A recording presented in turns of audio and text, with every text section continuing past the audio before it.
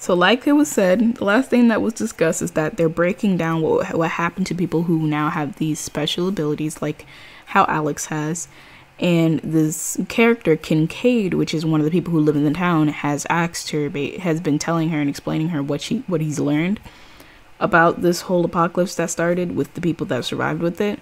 And he even asked her and interrogated her, like, okay, well, I told you what I know. Tell me what's up with you. Because obviously something happened to you in order for you to become like this. So that's where we la- last left off. My favorite manga is The War on Normal People by Andrew Yang. Oh, yeah, yeah, yeah. I need to read that book. Uh, there's a whole podcast for free online. Um, and not a podcast, a whole audiobook that someone did for it for free on YouTube. I need to sit down and listen to it when I have time. Okay, chapter 54. Are you okay? Sarah said. She halted as Ghost snuffled around a tree. You've been really quiet all night. Let me turn off this fucking notification.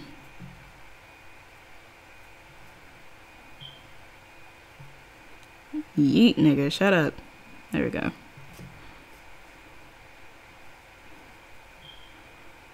There we go. Hi, Laura. What's good? Still love her. I gave her ass my Zaxby's yesterday, even though I was hungry. I'm weak. Aww. Alright. Chapter 54. Are you okay? Sarah said. She halted as Ghost snuffled around a tree. You've been really quiet all night. Just tired. Alex hunched her shoulders as the wind forked up a fistful of icy snow and sent it whirling in a sparkling. Ar- the fuck does that mean? Arabesque? Arabesque, I think. Arabesque in the light of their torch. She could see the bulky silhouette of their guard a few steps ahead, and the flash of snow splintering the harsh white light of his lantern. I'm really sorry about what happened, Sarah said. Happened? Yes. At the courthouse? That's all over town. About how you recognized that man Harlan? Peter told me that Harlan left that little girl alone out there. Ellie. Yeah, Alex said. A little ashamed now, because she's not been thinking about Ellie, but Kincaid. He might call himself a country doctor, but he was sharp enough to guess about the monster. She supposed she could have lied. There was no way Kincaid would, could look inside her brain, after all. But telling him had been kind of a relief. I'm weak to my list. Story time. Hi, Vic. What's good? What he said about the monster was interesting, too. You don't know that the tumor's gone or dead, or dormant. Maybe the zap shorted it out. Or maybe all those EMPs organized it somehow, made it functional instead of destructive, like another lobe of your brain. Or maybe both. She recalled how sick, chemo sick, she'd felt right after the attacks. She'd assumed the zap caused that, but her brain was chock full of pebbles loaded with a new and experimental drug. Barrett hadn't been able to get the pebbles to dump their payload. The light probes hadn't worked. But light was just a physical form of electromagnetic radiation, a different kind of EMP. So maybe the zap from all those EMPs was strong enough to trigger the pebbles. The monster had either died or altered in some way, and so had she. She could share none of this with Sarah it's okay. I mean, it's not. I understand why Chris didn't want to go after Ellie, but. She let out a breath that the wind stole. Doesn't make it feel any better. Sarah was quiet as they waited for Ghost to finish. I think they're doing the best they can, she said finally. You know, to give us homes and stuff. That's not the same as being happy or free.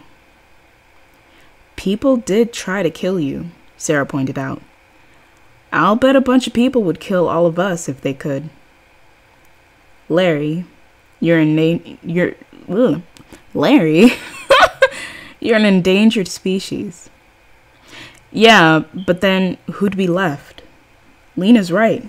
They need us. I mean, have you seen some of those guys? They're really old. Eventually, they're going to, you know, break down. They need us to take care of them.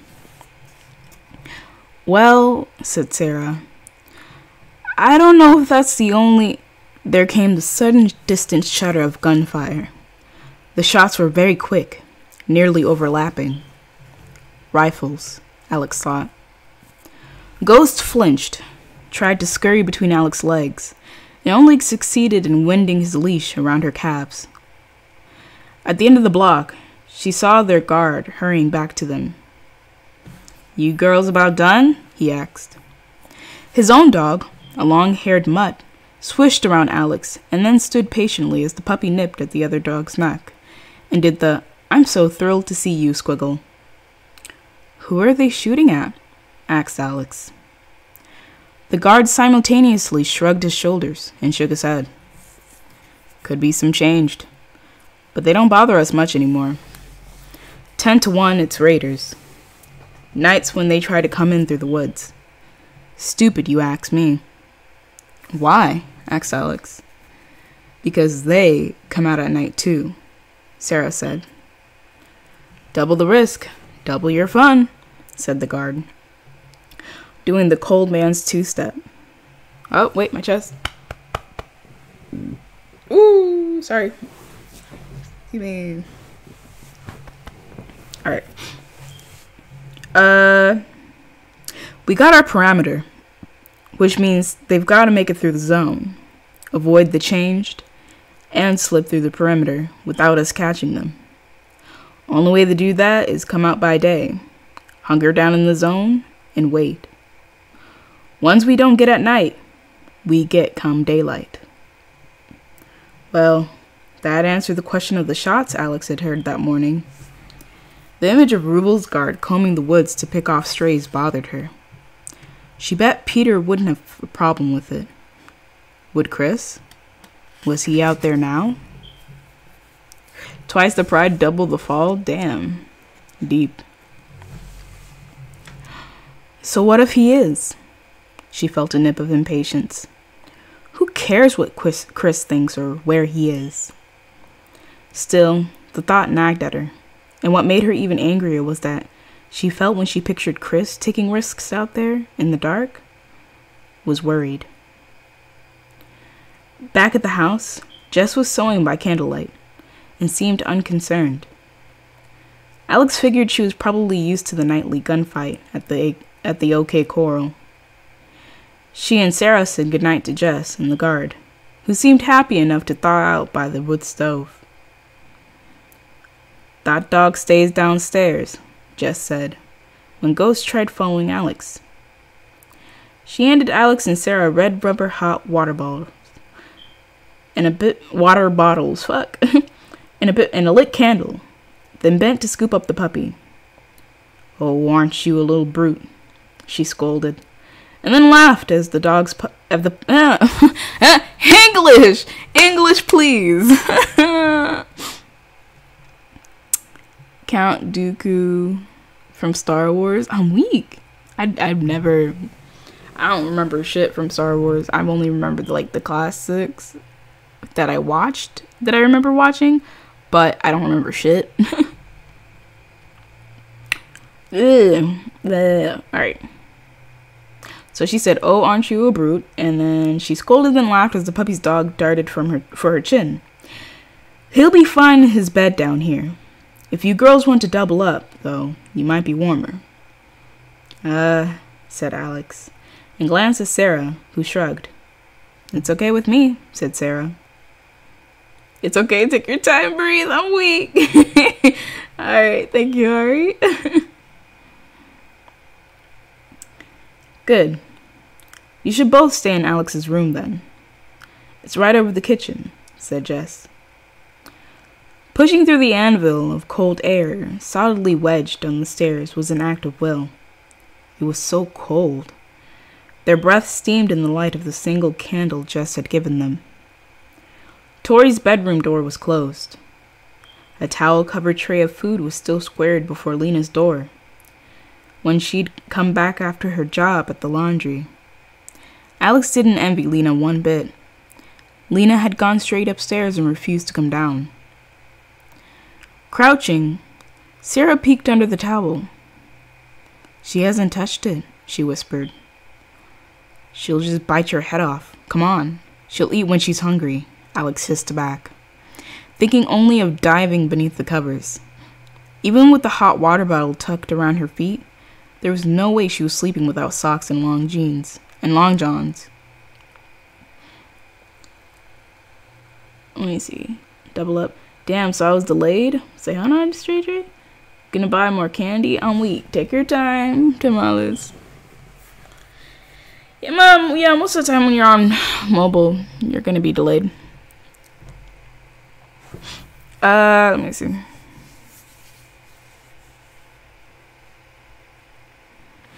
Sarah lingered a moment longer, then followed. After they'd washed, the icy water gave Alex brain freeze when she brushed her teeth, then swiftly changed and crawled under a double feather quilt. Sarah whispered, She's really not so bad, you know. What? Being in bed with Sarah had dredged up thoughts of Ellie, and Alex had to think a second. Who? Lena? Only if you don't mind permanent PMS. Oh, I thought some I thought y'all said something in chat. She had really she had a really rough before. She doesn't talk about it much. Did she really run away from here? Yeah. About 3 weeks after she got here.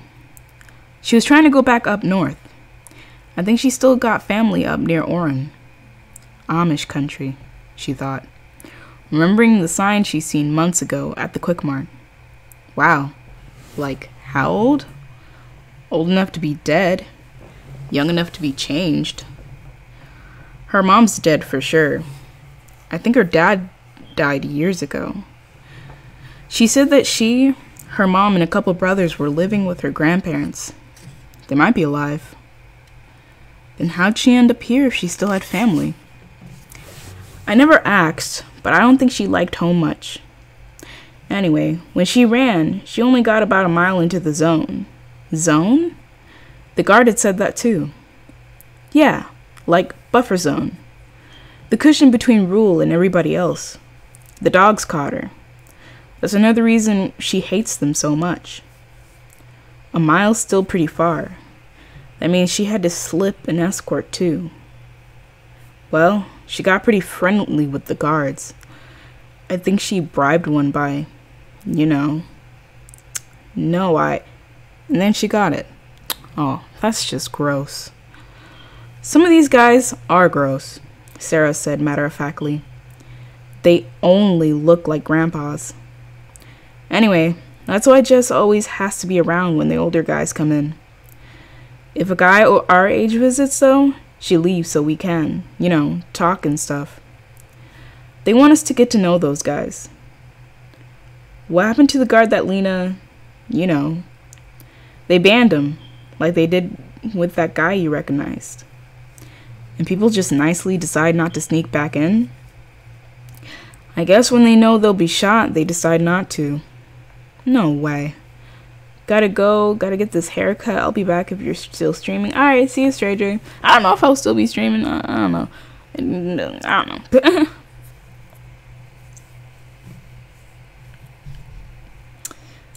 no way. Way. Reverend Yeager's really strict about it. Like, once he decides you're banned, that's it. There are a lot of guards in the woods. Like, walking around? She wasn't sure she wanted to be out there after dark, even with a rifle. Sarah shook her head. Tree stands. You have to know where to look. Even then, they move around, so you can't predict where they'll be. You know a lot about this.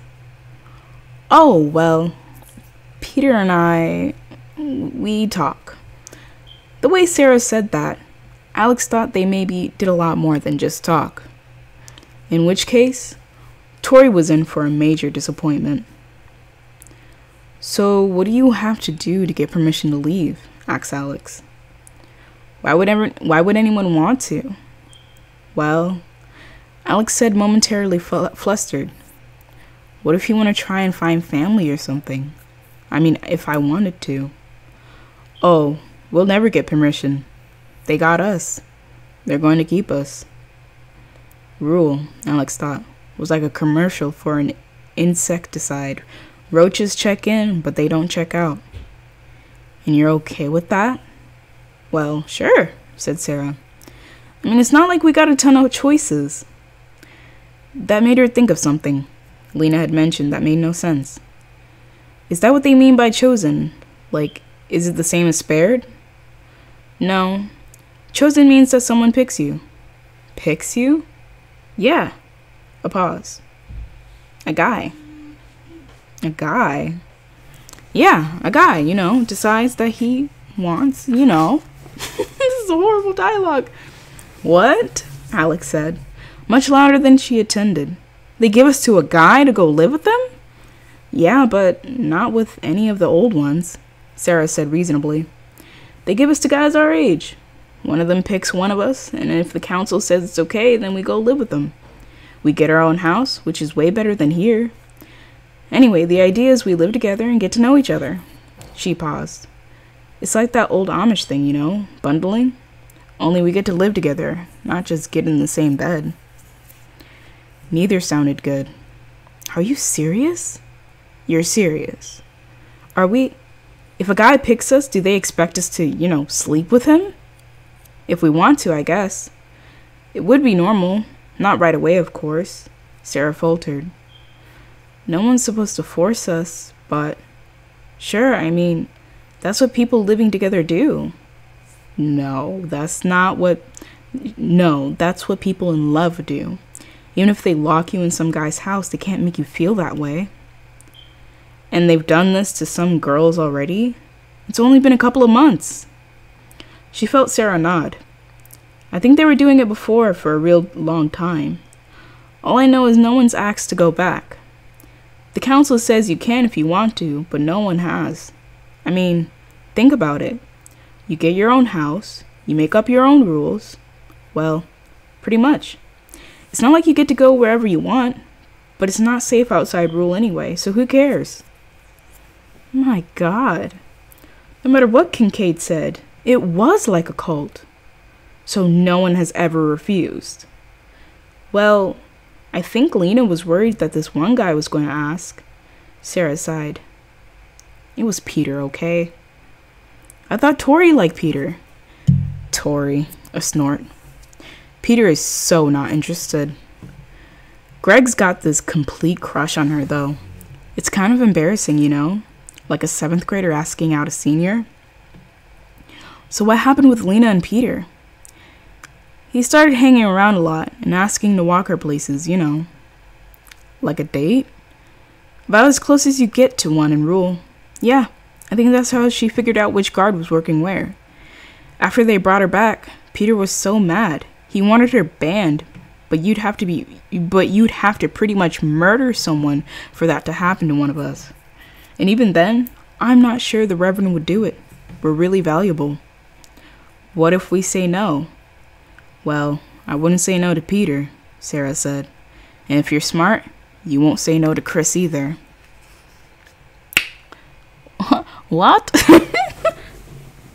so that was chapter 54 basically unraveling the whole truth of like what's going on, what would happen to her, and why they're not letting her leave the uh, the community.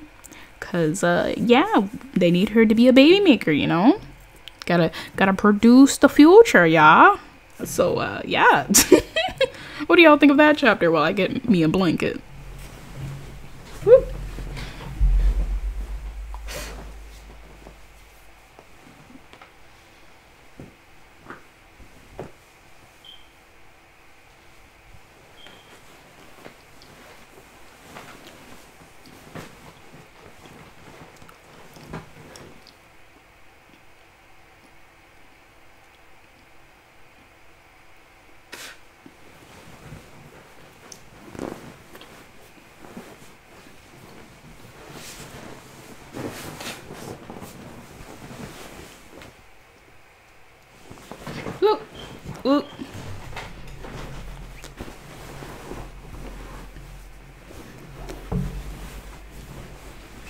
I got my blanket.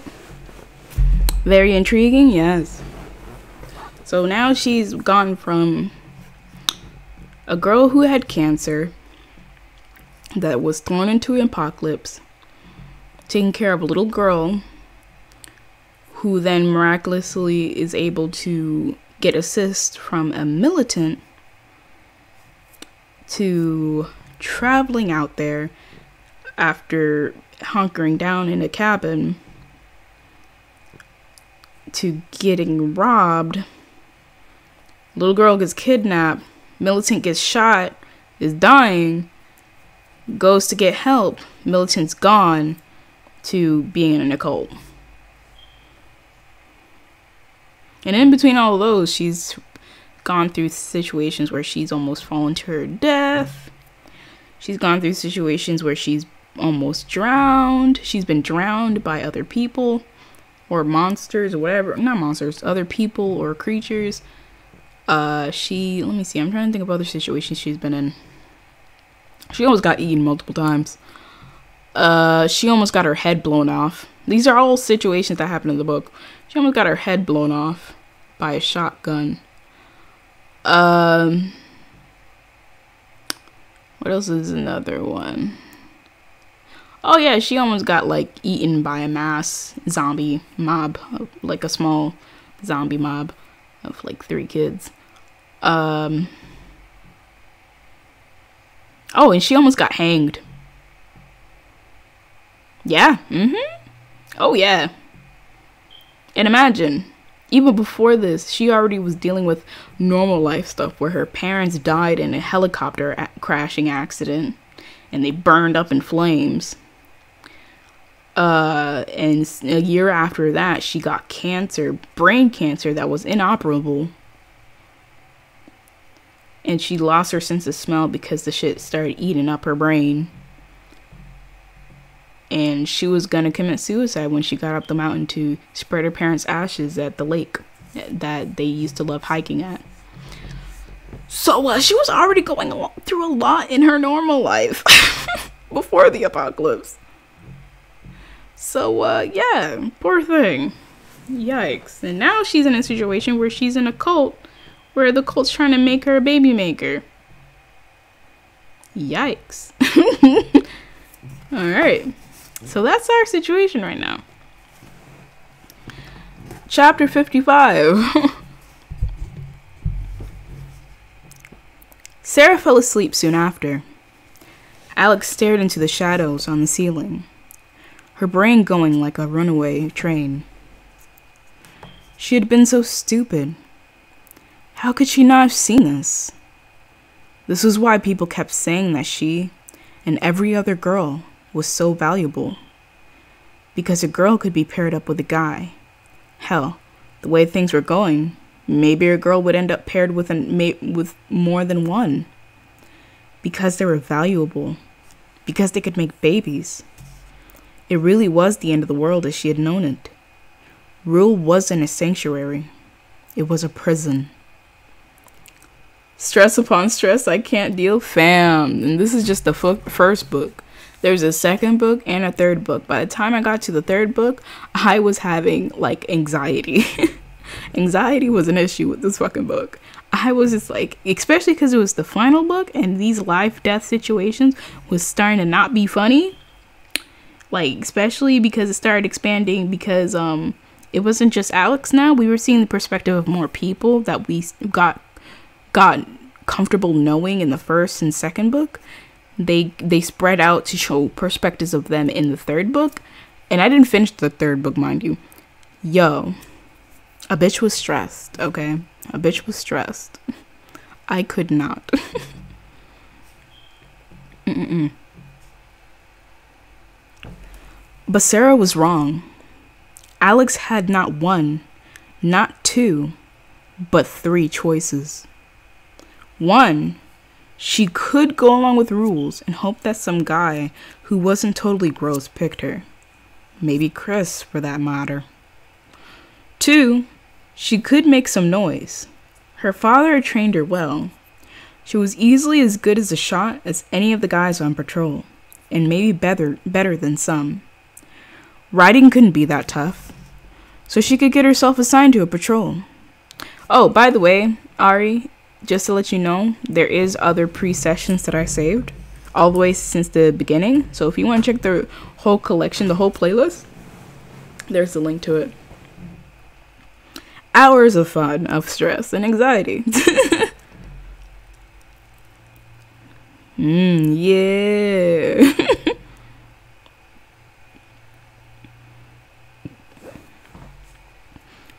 Uh, let me see. She did have something to offer, after all, and her super sense. If, say, she told Chris or Peter, would come in handy. She wasn't exactly sure what she'd do if she actually had to shoot someone who wasn't changed. On the other hand, if she ran into another Harlan, that might not be such a problem. Anyway, the point was to get out a rule. Oh, by the way, here's a summary if you didn't see it before.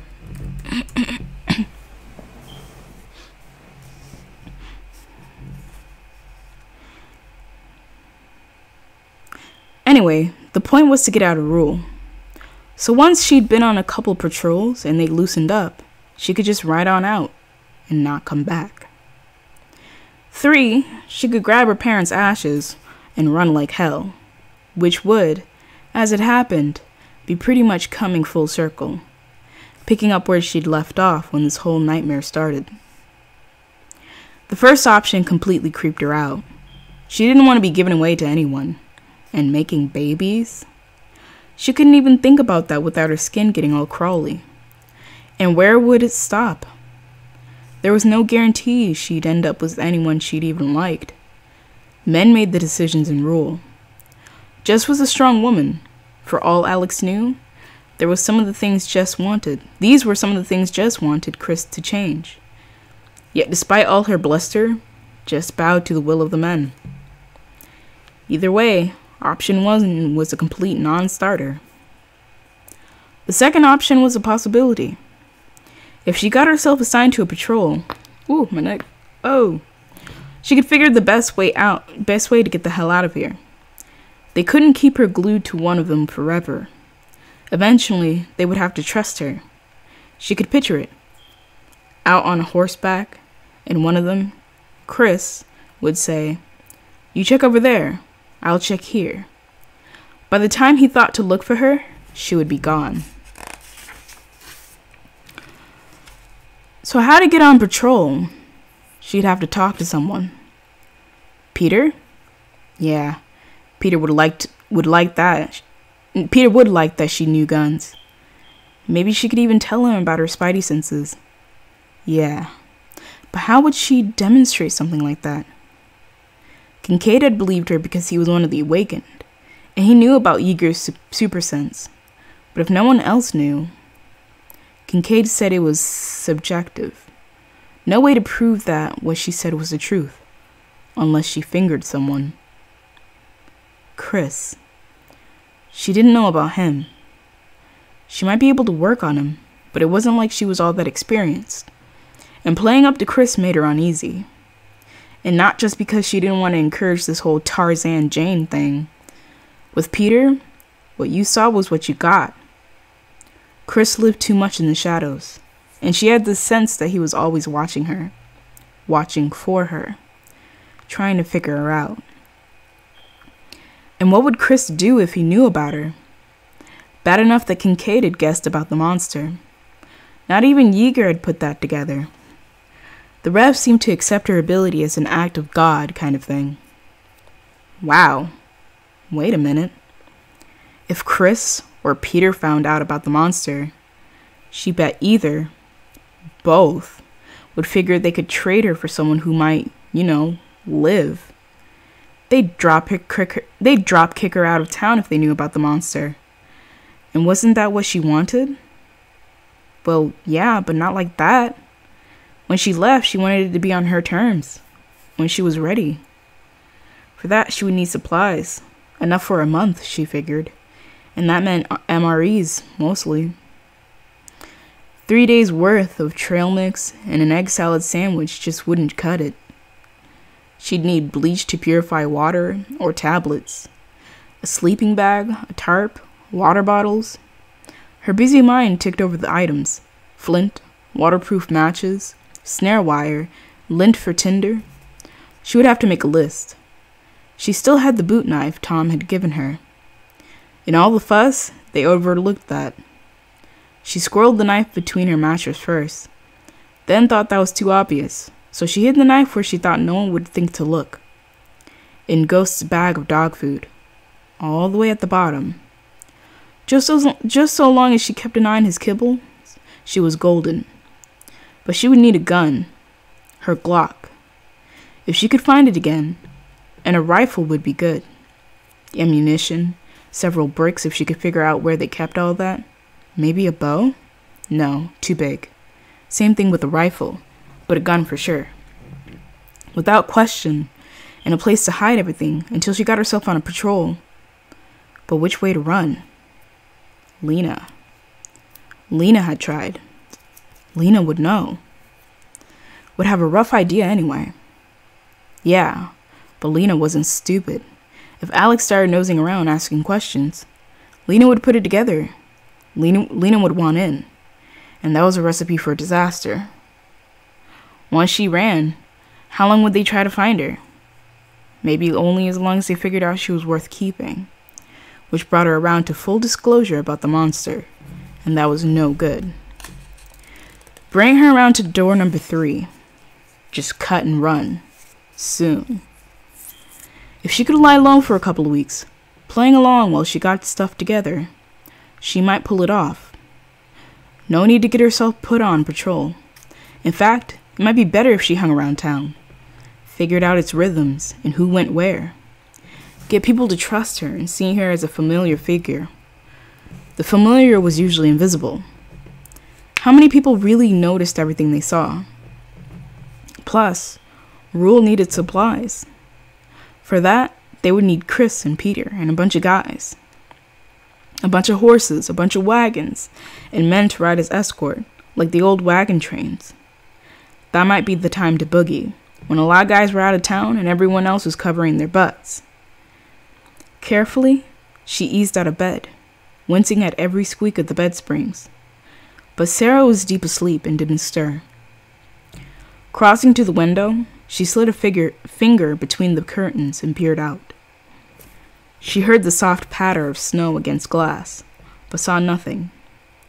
And the night was deep and dark and vast, with no street lights or bob of a flashlight, or even a helpful cigarette.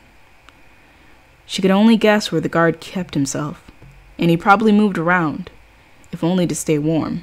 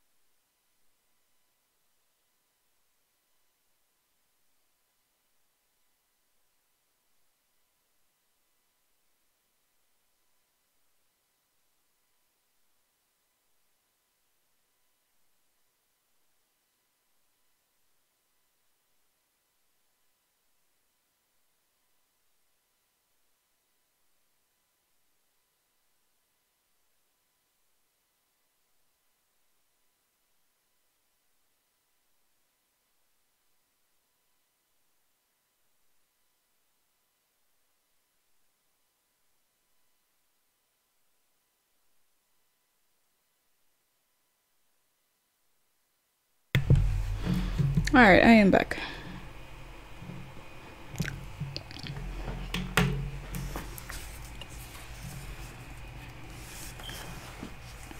Woo. Whoa.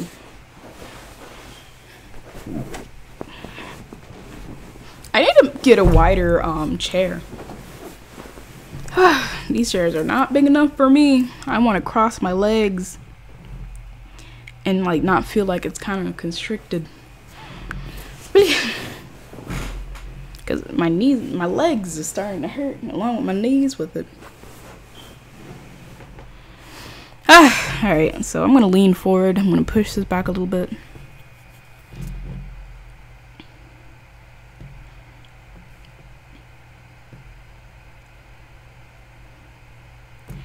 It occurred to her. Oh wait, hold on. Let me check that you guys can hear me, because sometimes I don't want to fuck. All right, cool. All right.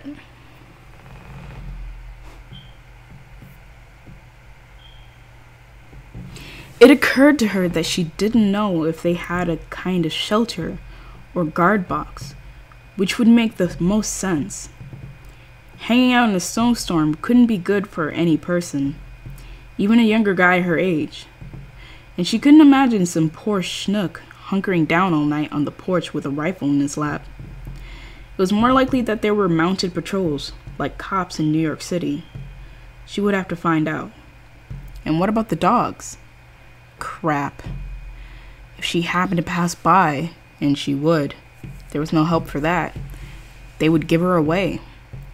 She was every dog's best friend. Taking Ghost with her was one thing, but having an entire pack? Yeah. But could she use that somehow? She flashed to an image of assembling an army of dogs. Go, fetch, play dead. Not bloody likely, as Aunt Hannah would say. The cold seeped through the glass and broke over her face. She thought of herself out there, alone, struggling through drifts. Even with snowshoes and skis, it would be hard going. Her window of opportunity was closing, and fast. Winter would only get worse. So, how to avoid getting caught, or worse, being mistaken for a raider and shot? Maybe duck out the southwest corner and hightail it for the old mine. Then loop back north and head to. where? Minnesota, the border, Canada. If Tom was still alive, that's where he'd go. A lot of ground to cover, and a big country besides. But if Tom was alive, if Tom was alive, Tom, she exhaled his name in a soft whisper, watching as her breath fogged in the window, and then slowly cleared, leaving only a memory that there'd been anything here at all. Saying his name brought out brought on that hollow ache again. If Tom wasn't dead, where was he? What had happened to him? Was he looking for her? No. He'd have given here. He'd had he'd have gotten here by now. He knew she was going to rule. But if he was alive and he was thinking about her at the same moment she was thinking about him, maybe. She closed her eyes. She forced herself to be very still. Wrestled her thoughts to gray, and yet opened her memory to a smell that strange and spicy scent that was Tom. She saw and felt him in flashes. Tom in the light of the fire. Tom as he held her the night they found the radio. Tom as a silhouette keeping watch over her. Tom's lips. Tom's hands in her hair. His taste. She didn't know if the tightness in her throat or the fullness in her heart meant that he was there, that they were connected somehow. Maybe all that she saw and felt was the, sensa- sen- the sensual fullness of memory, that which abided and was nothing but the ghost of a touch, but the whisper of a word, the lingering of a scent. But she felt him just the same, and thought that maybe this is what this was why people didn't mind being haunted. Yikes. Oh, damn. So there goes Alex formulating her plan on what to do. Uh, she's gonna try and plan to get out. Uh, so we're gonna hop on to chapter 56.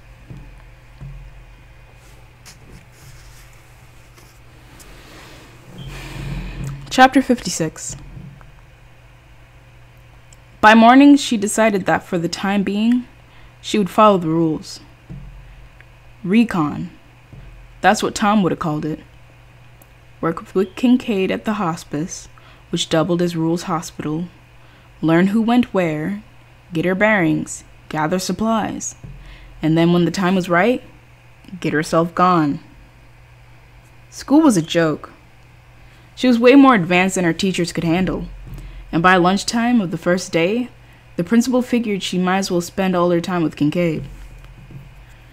Chris was waiting in the hall outside the, the principal's office to escort her to the hospice. He and the principal ex- exchanged greetings, and then the principal said, Chris, think you can scare up a few copies of Robinson Crusoe? Say ten? Oh, also Island of the Blue Dolphins.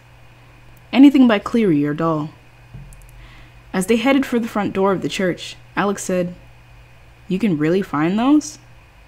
Probably not. Chris held the door, then followed her out into the cold. The sun was shining for a change. Squinting, he rooted around in a breast pocket, pulling out a pair of aviator gla- sunglasses, and slid them on. Alex felt a quick sting of envy. The sun was bright enough to hurt, and she put a hand to block the glare. He said, You don't have sunglasses? I did, she said, with faint, with faint annoyance. She wasn't stupid. They were in my pack. Sorry, he said. I wasn't criticizing. No big deal. Recon, she thought. So where do you get books? Some in town, but the closest library is three, four days out, so that's not really an option. Too many men and wagons tied up to make it worthwhile. Most of the houses for 20 miles around have been cleaned out already, if they haven't gone up in flames. She unclipped Honey's lead, then swung into the saddle. The snow came halfway to Honey's knees. She would have to trade up for a larger horse soon.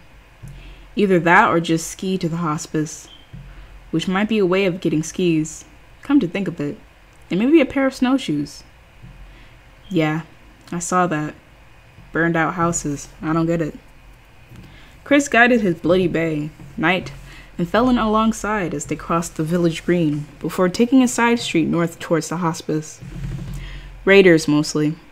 People who take what they can, then torch the rest. They're not as organized or big as we are, or they'd have taken over rule by now. But what they're doing is kind of an interesting strategy. Why? He regarded her from behind his dark glasses. Burn out more people. They head here, word gets around, the more people we take in, the farther out we're forced to go to find things. The farther from rule we have to go, the easier we are to pick off. That's why we limit who we take in. But even so, we're taking more risks now than before, traveling days sometimes to find what we need. Things might get easier once we can plant again, but until then, we're as dependent as everyone else on what we can scavenge. Is that what happened last night? Raiders tried to get into town? He nodded. We lost three men. What about the Raiders? Got two, but two got away. Next time, I'm following them. I don't care what Peter says. If we could follow them to their camp or town or wherever, we could finish them off and take what they found. One less group to worry about, and more for us. But they're not changed. They're just people trying to survive, Chris, who are trying to take what we've got. If we talk to them, maybe cooperated. There's no talking with these guys. How do you know that? Have you tried? When he didn't reply, she pressed. Chris, you can't just go around killing people and taking what they have. Why not? He kept his shuttered eyes on the road. They'd kill us if they got the chance. The hospice was small four wings, 60 beds, and, 20, and only 20 of those occupied by true hospice patients. Most were in the terminal stages of cancer or lung diseases. Miners, a lot of them, Kincaid said as they stopped outside a day room. We're just trying to make them comfortable. She swept her eyes over the scatter of patients. Old men mostly, with portable green oxygen tanks, slumped in overstuffed chairs. Most were dozing, although some played checkers or chess. A few shuffled greasy cards for games of solitaire. The sight de- depressed her, and the smell of antiseptic soap brought back too many memories, all of them bad. She turned to see Kincaid's eyes on her. You won't be working here much, he said. We got dedicated hospice staff still around for this. It's okay, she said, although she was relieved. She could too easily see herself here, back when the only thing she had to worry about was, oh, imminent death. She visited a few hospices for people her age, and thought that waiting around to die with strangers was even nuttier than waiting around to die at Aunt Hannah's. How are you getting your tanks? The way we get everything. He turned off down the hall, motioning for her to follow. Either the guys out for- foraging bring him back, or they don't. Right now, mostly they don't. If it's a choice between our guys grabbing a wagon load of an- antibiotics and bandages versus a couple of oxygen, oxy- oxygen tanks, oh fuck, it's not a contest. Hold on, I need to get water. Woo!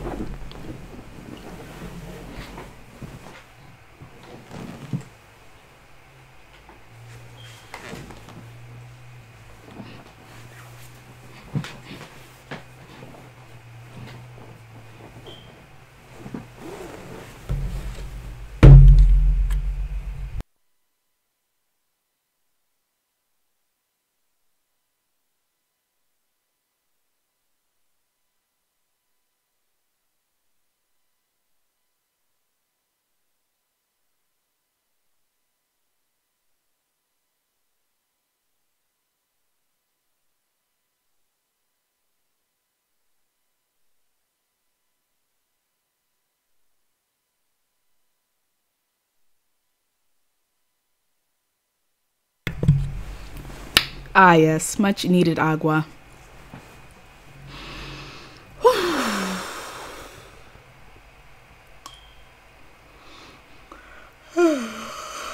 Alright, let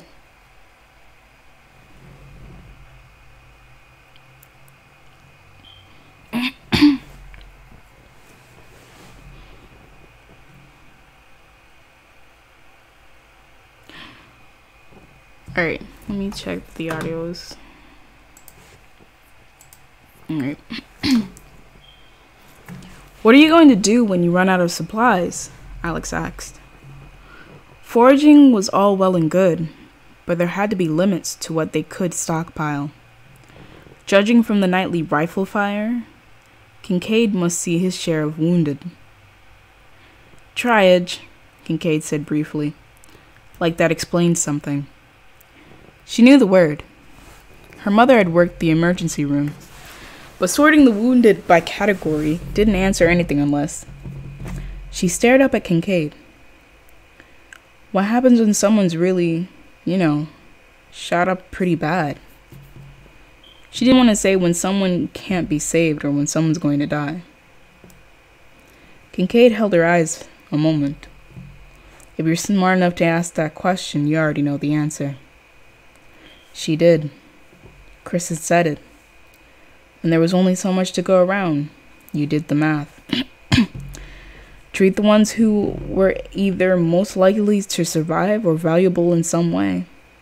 The rest, you had to hope the end came fast. She wondered if Kincaid helped those people along. Given the situation, she thought he just might. Kincaid had two other assistants both older men in their late 60s, who had been nurses but in retirement before.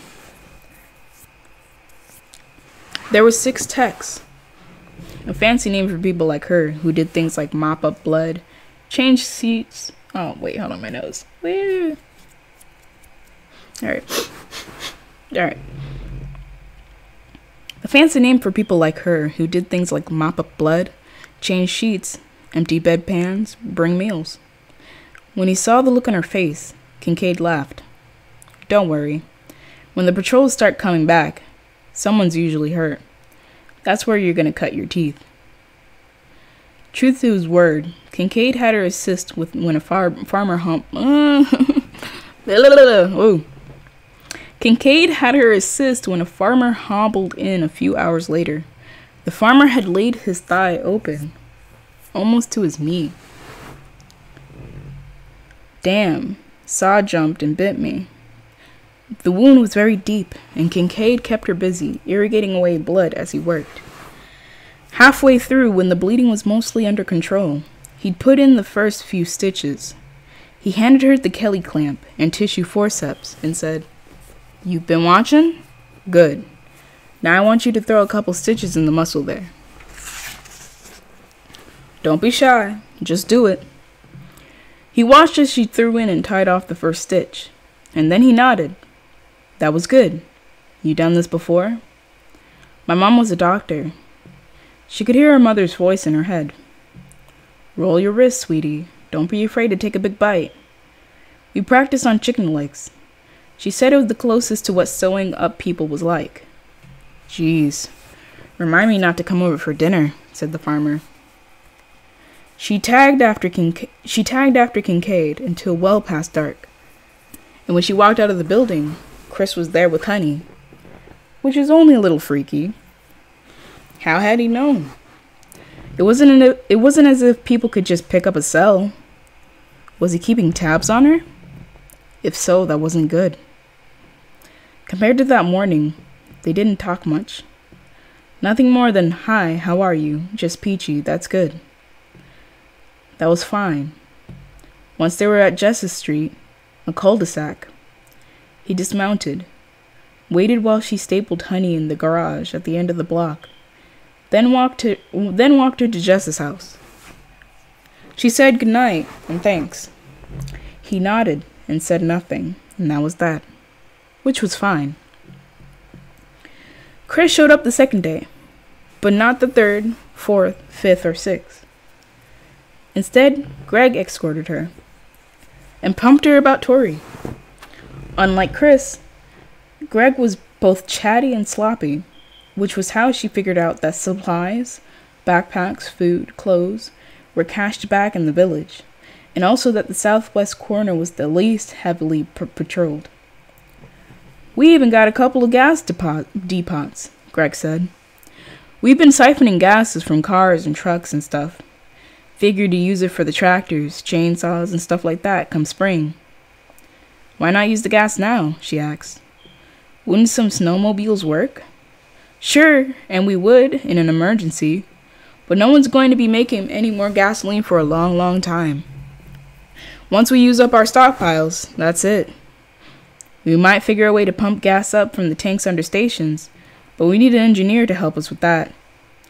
Even if we can get at the gas, we still have the problem of eventually running out. And it's kind of spooky anyway, you know? The noise. Anyway, the council's into the council's into us being self-sufficient and simpler, like the Amish, which we already kind of were before the, you know. That's why so many of the houses have hand pumps and stuff for water. Without those, we'd have been completely screwed.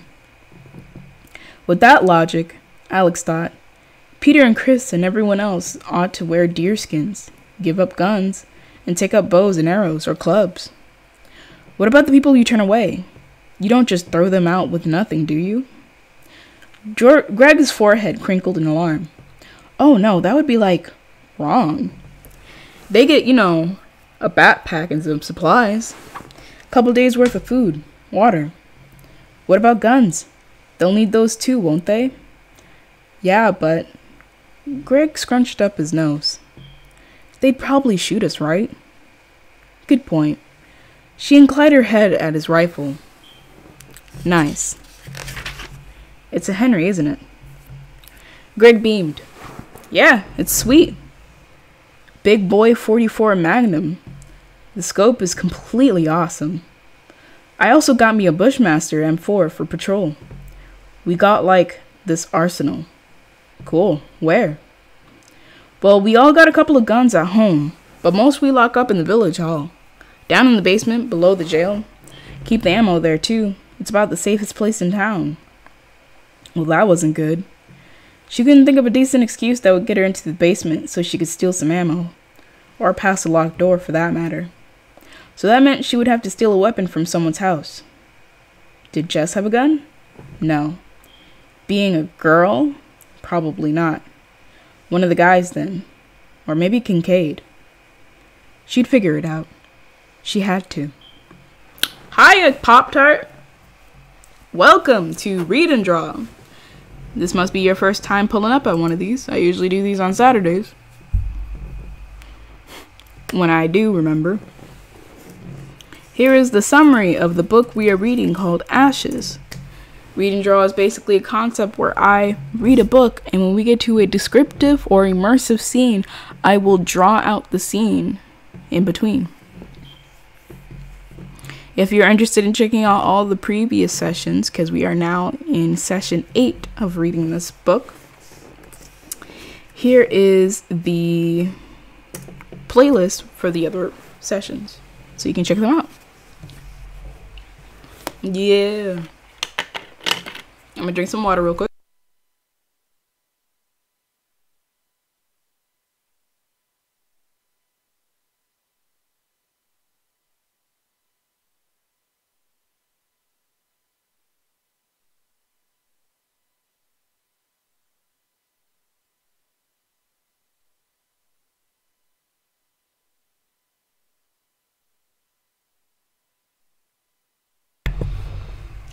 Whew. Yeah, because I got tired of having to say the summary every time. So there goes the summary for this book. And once again, if you're interested in checking out the other sessions all the way from the beginning, there goes the playlist.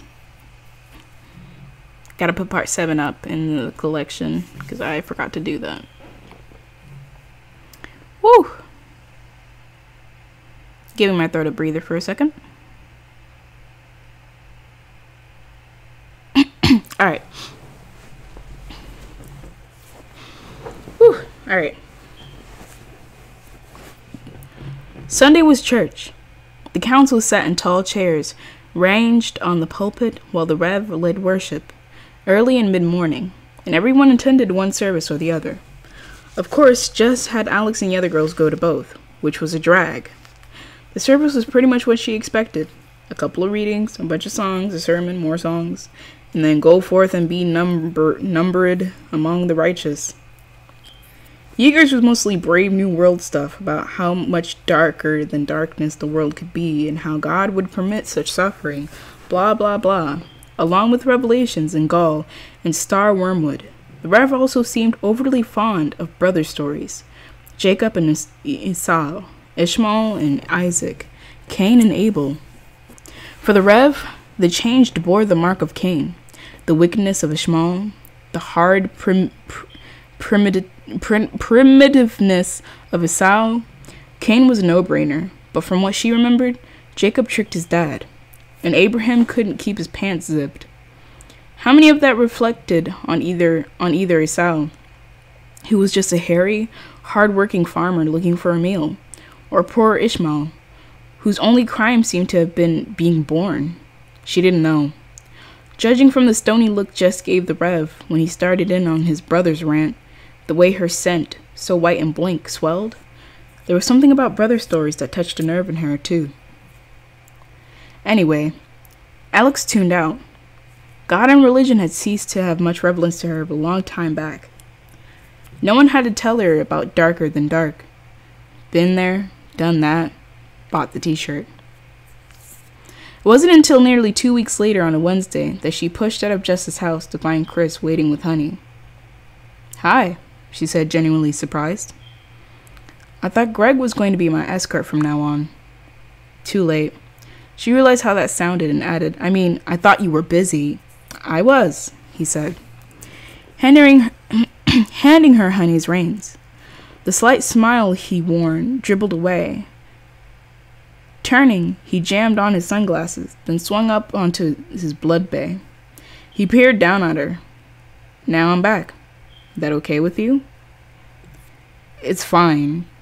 Her cheeks heated, but whether from anger or embarrassment, she wasn't sure. He said nothing more as she mounted, and they started off, the horse's hooves thudding dully on fresh fallen snow. She waited until they turned out of Jess's street before trying again. So, uh, where were you? Out finding supplies? Uh huh. Uh, where? Around. He kept his gaze fixed on the road ahead. Up by Oren. Oh. She cast about for something to say. Isn't that pretty far? His shoulders rose and fell in a quick hunch. Not bad. Only a few miles north. She knew Oren, and it was way more than a few miles. You couldn't find what you wanted any closer? He hesitated before answering. She could almost see the wheels turning. I remembered that Oren had this bookmobile. She was confused for a moment, then recalled Chris's conversation with the principal. You went all that way for books? Well, not just books, there was other stuff. Did you find the bookmobile? How many books were left? Everything. As far as I could tell, it was. Chris's voice took on a wistful note. Kinda peaceful, actually. She imagined it would be a nice, quiet, very big van filled with books. How many books did you bring back? All of them. All of them? That's a lot of wagons. It wasn't so bad. Peter was kind of pissed, but winter's pretty long and there aren't going to be any more books. You don't know that, she said.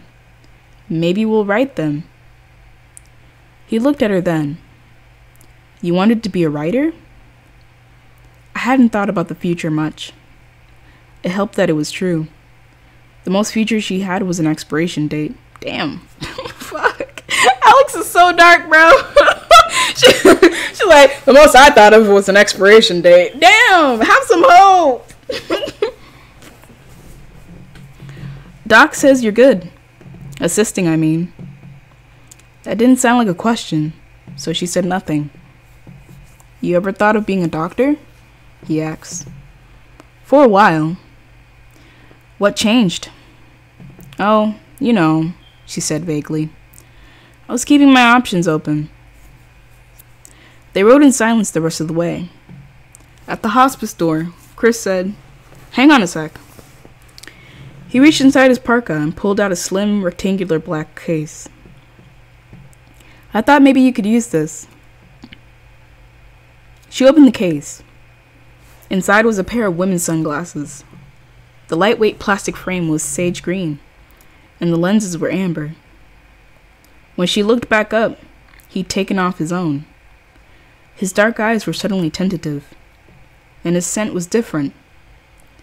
Still dark and cool, but with just a touch of something sweet and tart at the same time. Apple? They're sports glasses, he said. The lenses are polarized and shatterproof, so they ought to be good for a long time. They were, she thought. Very expensive. Very nice sunglasses.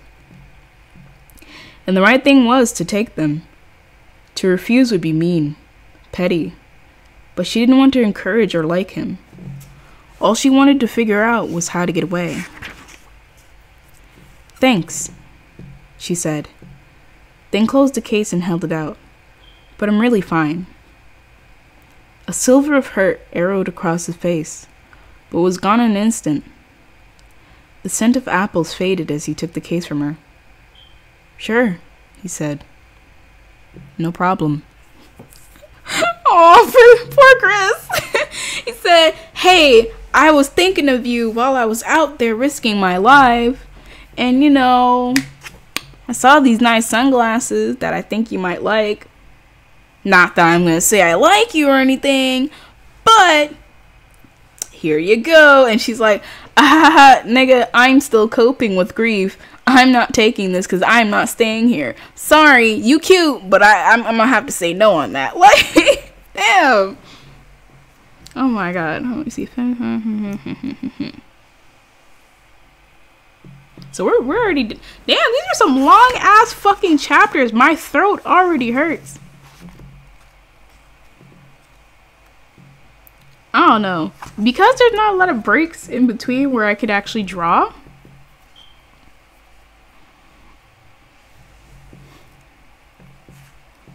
Let me see. 54, 55, 56, 57, 58. So if I stop at 58, if there's no if there's no breaks, by the time I hit 58, I'm gonna have to stop because I'm not doing 10 chapters reading like this. My, do you do you hear how rough my throat feels in the back? Uh, that's my throat right now. so if we can't find any breaks between 57 and 58, I'm gonna have to stop right there. So I'm gonna write this down over here. Or 58.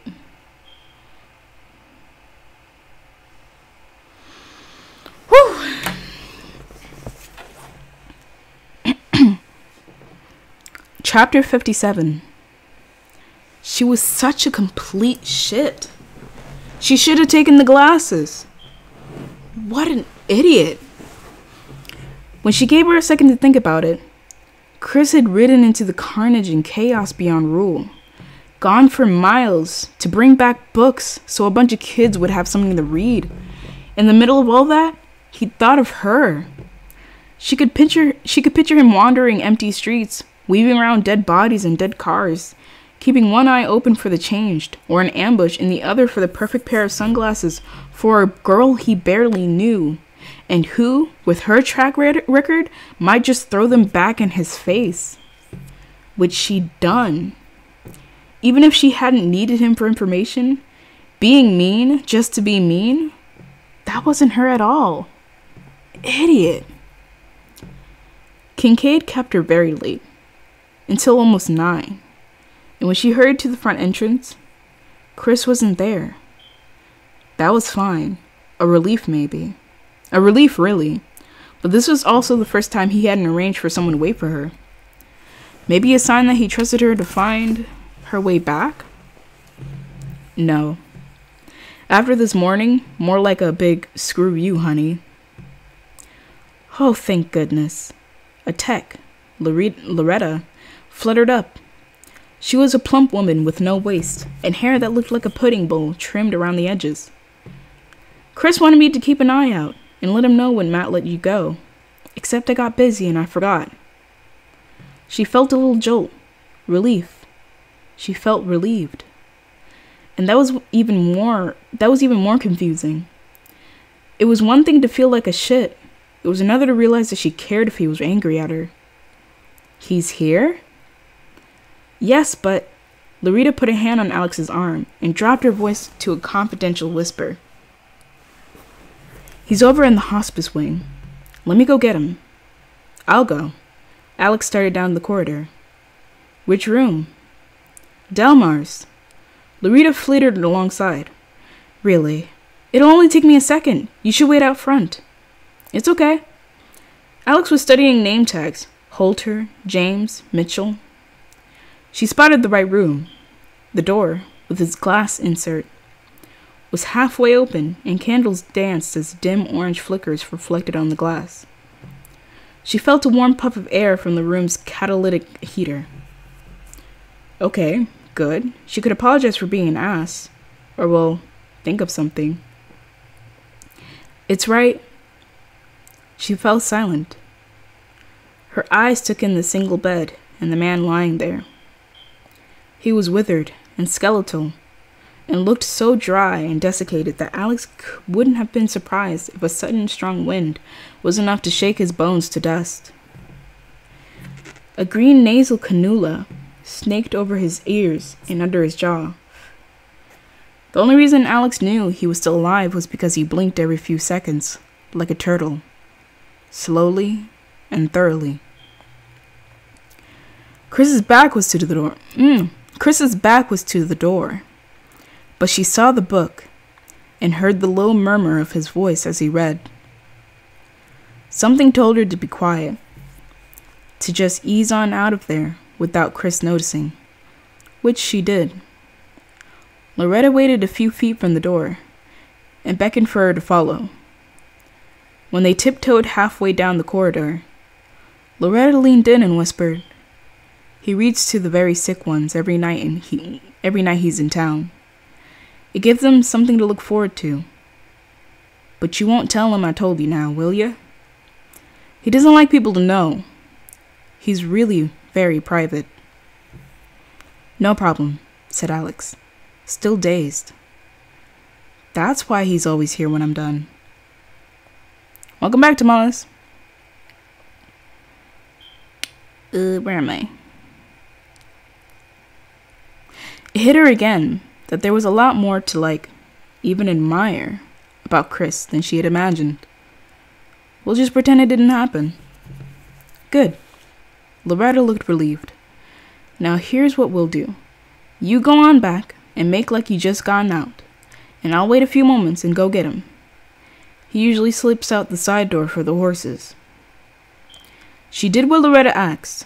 Perhaps five minutes later, she heard the dull clop of horse hoofs.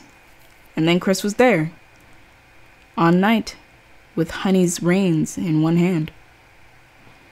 Hi, he said, with about as much enthusiasm as she might muster for a cockroach. It's okay, she said, swinging into Honey's saddle. They rode into silence for a good ten minutes, before she worked up the courage to ask, So, what did you do today? It being dark, she couldn't see his face, but she felt his eyes. Why? he said. Would you even care?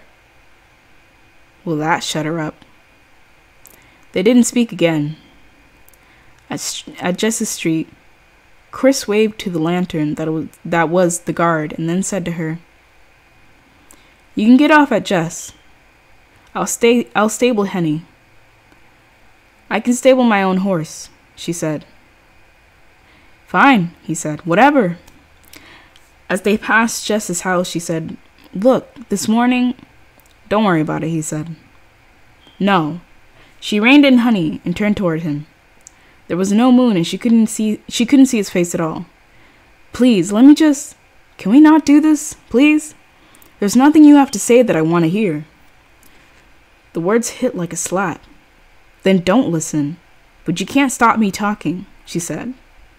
Fine, knock yourself out. God, you're making it so hard for me to apologize. There was no change in his scent at all. If anything, his shadows got stronger. It doesn't matter.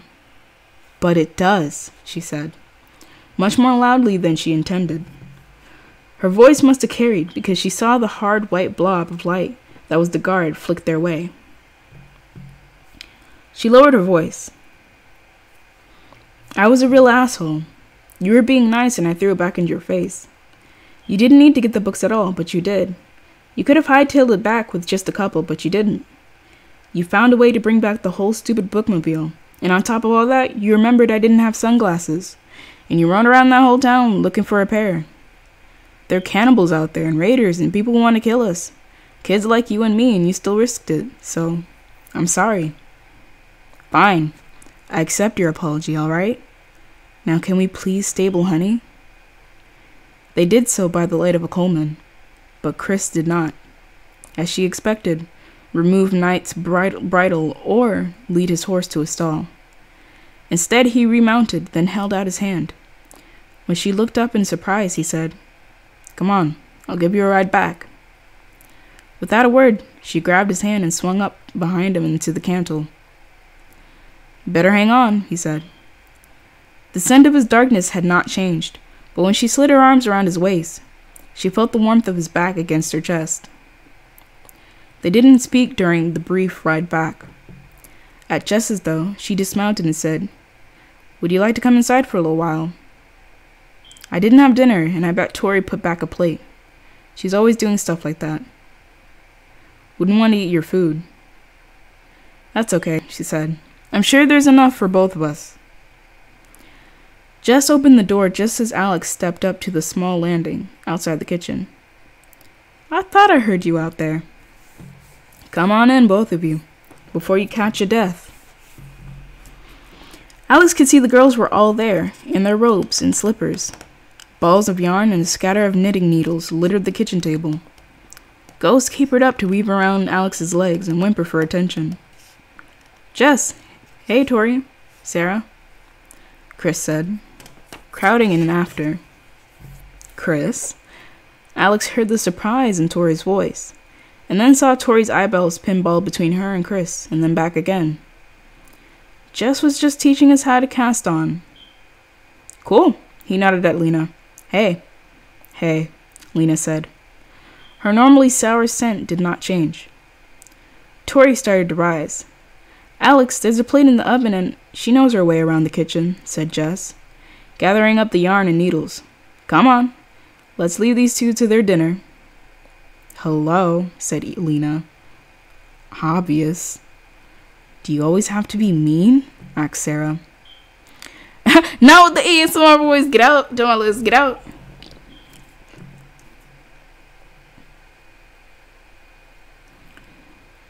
Chris, would you like some bread to take back to your place? There are a couple of loaves in the pantry. Tori started that way. Let me. Alex can do it, Tori, Jess said. As Lena is so fond of pointing out, she's not a cripple. Alex, there's hot water in that kettle, and Tori made a couple of very nice. oh, and Tori made a very nice crumble. Apple, said Sarah. She was studying Chris. That's your favorite, isn't it? Yeah, said Chris. Uh, thanks, Tori. Come on, everyone. We'll get that fire back up in the front room, Jess said, shooing the other girls out, closing the connecting door to the front room behind them. Beyond, Alex could make out Lena's muffled complaints, and then something sharp from Jess. Her cheeks warmed. I'm sorry, she said. Don't worry about it. Come on, let's eat, he said. She got the food.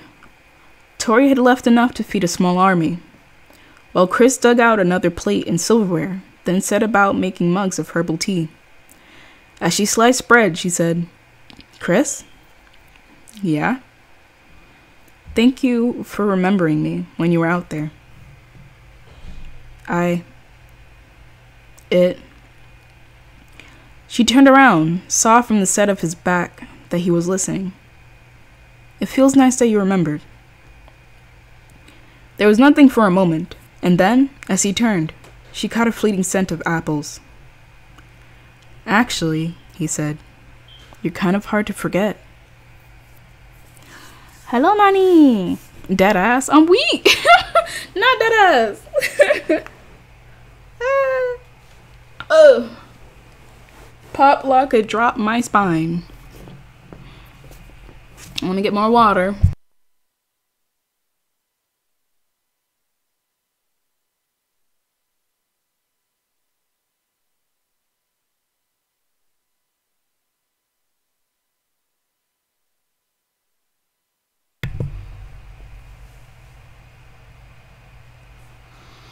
Whew, all right. Let me check that everything is Gucci.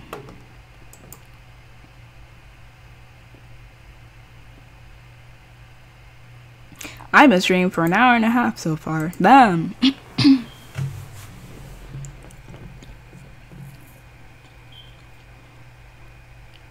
it was deja vu all over again. After polishing off dinner and devouring what was left of the crumble, they sipped tea. They sat long enough that Alex heard the creaks overhead and knew that Jess had chased everyone upstairs. She and Chris didn't talk much, which both relieved her and made her crazy. With Tom, conversation just came. Chris was so quiet, yet this was cozy. It was intimate. It was Tom all over again, but it wasn't. Couldn't be. If anything, it was a pale imita- imitation. Like a faded Xerox you copied about a hundred million times until, until there was just an impression of the original. Tom was Tom and Chris was Shadows. No amount of wishing would make Chris into Tom either. And she didn't wish that. Not for a second. Not in a million years. She needed Chris, pure and simple. She wanted his trust to make him her ally. That was why she'd invited him in, right? Right? Can I ask you a question? he asked, breaking into her thoughts. Um, sure she said, pushing out of her slouch. Ghost dozed on her lap, his paws twitching. What? Why are you carrying your parents' ashes? When he saw her expression, he said hastily, I mean, you don't have to tell me if it's too personal. No, it's okay, she said. Yeager hadn't even asked that, and of course, Tom hadn't known to begin with. They died a couple of months, couple of years ago, and they wanted their ashes scattered on Lake Superior. That's all. And it really was all. Come to think of it, no big deal. Why, oh, why hadn't she told Tom when she had the chance? But of course, she knew why. Because then I would have told him about the monster. Once I got started with Tom, there would have been no holding back. And I just didn't want to risk it. I should have trusted him. I held back too long. Oh, was there something special about now? I mean, you could have done it any time, right? It just seemed like the right time, she said and realized the truth of this. If she had been back at Aunt Hannah's, she would have been trapped in the city, and quite likely very dead by now.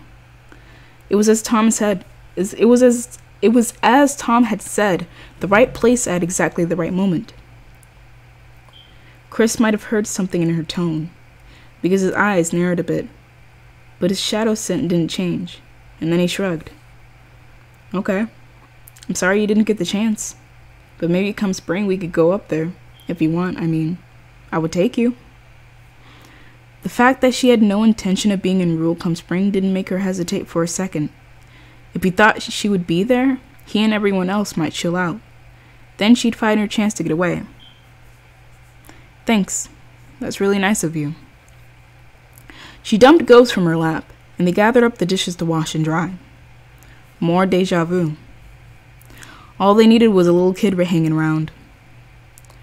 You're lucky you got something left, Chris said. The ashes, I mean. I don't remember my mom at all. She handed him a plate? She handed him a plate. You don't? He shook his head. She's just this big white spawn. She left when I was really little. Like only a couple months old. Do you hear my dad grooves about it? She would have booked right out of the hospital if she had the chance. I don't know who she is or where she went, and my dad didn't have any pictures. Do you know why she left? My dad was a drunk. He threw her a tentative glance to, ga- to gauge her reaction. He beat her up, is what I figure. Well, that explains the shadows. Any man mean enough to beat his wife probably didn't spare his fist when it came to his kid either. Is that why you said he wanted you dead? I mean, you didn't say it, but. Yeah, I know what you mean. He sighed. Probably. He had a couple girlfriends. There was this one, Denise. When I was 10, she picked me up from the basketball pra- practice. I don't remember why my dad didn't come, but he was probably passed out or something. She was dead drunk, too. I knew as, as soon as I got into the back seat. We'd have had been better We'd, we'd have been better luck if I had been driving. About a mile from our house, she crashed the car, slammed right into, this, into the tree. She wasn't wearing a seatbelt, went through the windshield. Of course, that was my fault too. I still have nightmares. There was again. Nightmares, like her and Tom. That's terrible. Yeah, I heard about it every day, dreamed about it every night. My parents are both dead now. Thing is, I'm not sorry about either of them. My dad hated me, and my mom left. His mouth twisted in a sour grimace. If I could wash my brain and get amnesia, I would. It would be a relief. Bet not, she said. Chapter 58, which I'm now deciding is the last chapter for a day because my throat is starting to go rare. Woo! Oh.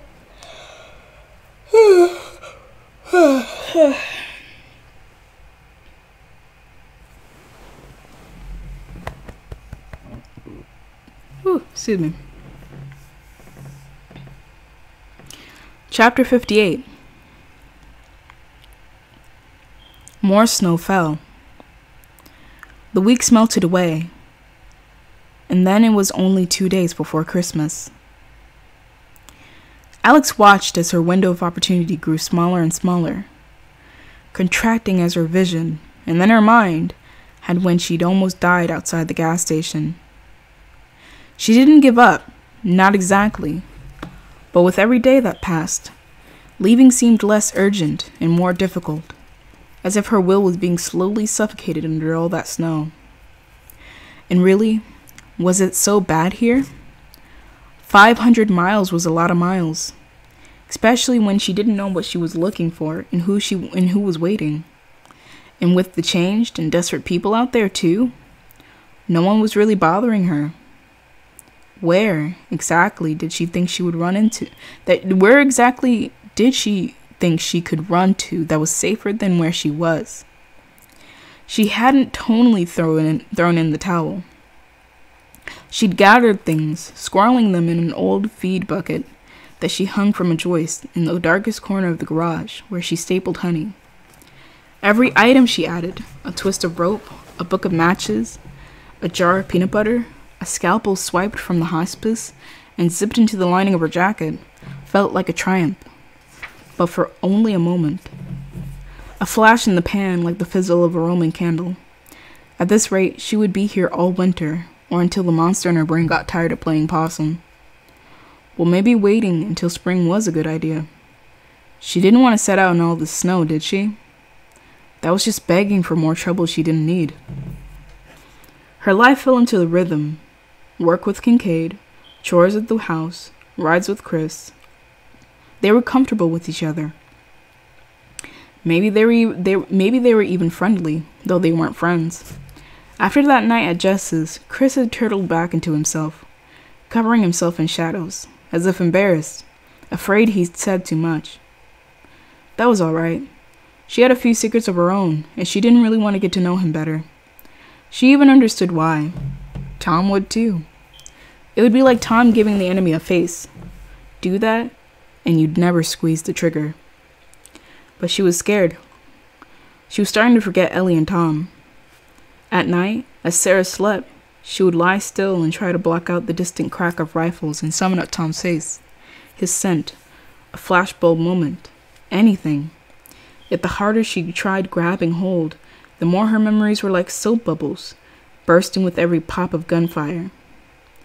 She'd have better luck hanging on to a handful of fog. Ellie was only a pink blur.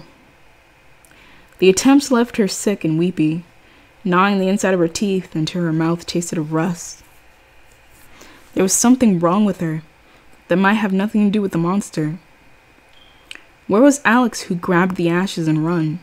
The one who said to Barrett, I'm calling the shots now. She sure as hell didn't know.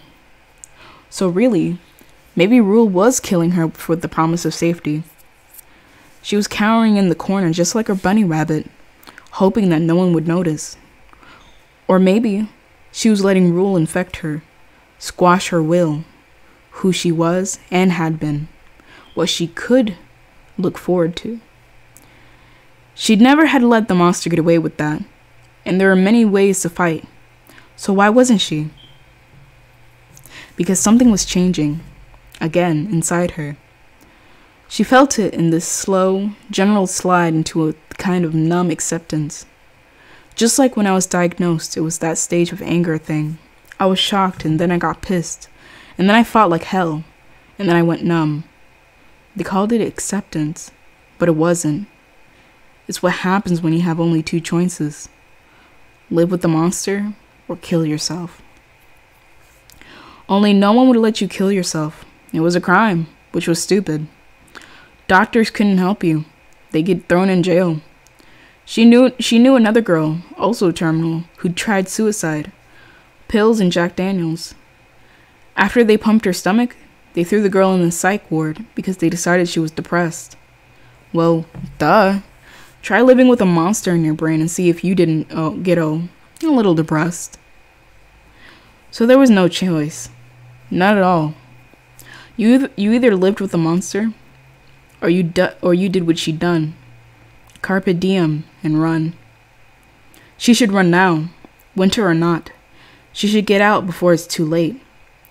Sure, she'd probably die out there on her own, but wait too long and she'd be lulled into the belief that all this rule, the life they'd mapped out for her, Chris, was her best option. She'd, sub- she'd settle for what they wanted. Really, come to think of it, there were two monsters the one squatting in her brain and Rule. Either way, she'd end up just as dead. Run, she told herself. Run, you idiot, run! But she didn't. She couldn't. She just couldn't. Uh, God, at least we got somewhere. All right. I'm stopping that right there. What did y'all think of this little session of another session of Ashes? A very short one of five chapters. But what do y'all think? What do you feel is going on? What do you think this